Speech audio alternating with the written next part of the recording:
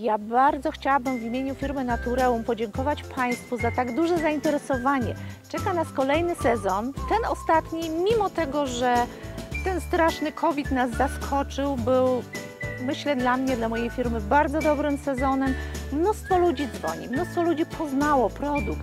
Ludzie, ludzie wracają do korzeni, ludzie mówią, że kiedyś to używali. Bardzo miła pani z Hajnówki wręcz powiedziała mi, że dlaczego pani tak późno zaczęła, ja tylko na to czekałam. Także jestem bardzo wdzięczna, bardzo mile zaskoczona odzewem i cieszę się bardzo, że państwo też do nas dzwonią i mam nadzieję na dalszy tak miły kontakt.